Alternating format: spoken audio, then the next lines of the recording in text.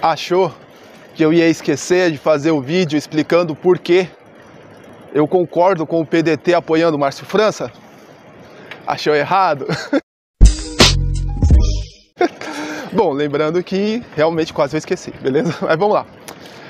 Seguinte, galera, eu alguns algumas semanas, alguns dias, semanas atrás, sei lá, eu fiz um vídeo falando que eu apoiava, que eu apoio, desculpa, o Guilherme Boulos para prefeito de São Paulo e que eu acho uma canalice o PT não apoiar o Boulos, lembrando que o, o, o PT está com um candidato ridículo e que nesse mesmo vídeo eu falei que eu achava correto o PDT apoiar o Márcio França.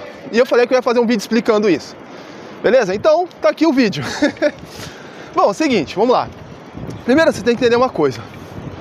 Estratégia, tá? Você tem que pensar o seguinte. A eleição de São Paulo é importante? É. Porém, nós temos outras eleições para vencer. E você olhando para a cidade de São Paulo, você vê que a cidade de São Paulo é uma cidade progressista. Porém, todavia, entretanto, o interior de São Paulo não é progressista, cara, tá ligado?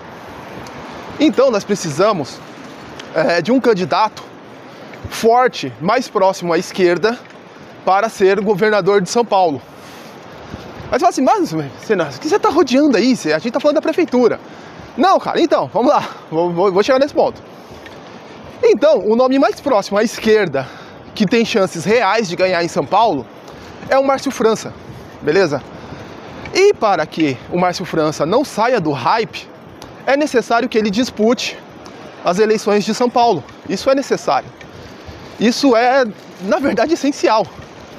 E como eu disse nos outros vídeos, o PDT e o PCB, PSB, desculpa, eles querem formar uma, uma terceira via, vamos dizer assim, uma alternativa ao PT.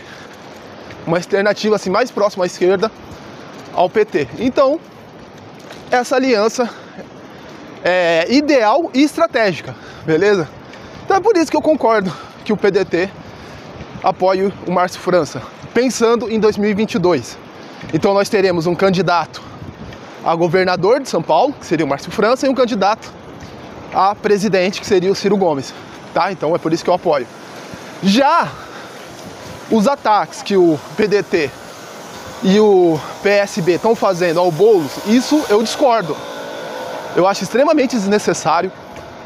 Eu ainda acho que o Márcio França não deveria estar tá fazendo muita força para ganhar a, a, eleição, porque é o seguinte, vamos lá. Vai, vai que o Márcio França ganhe, passe para o segundo turno e ganhe. Depois, vamos, cara, ele vai sair da prefeitura para disputar o estado?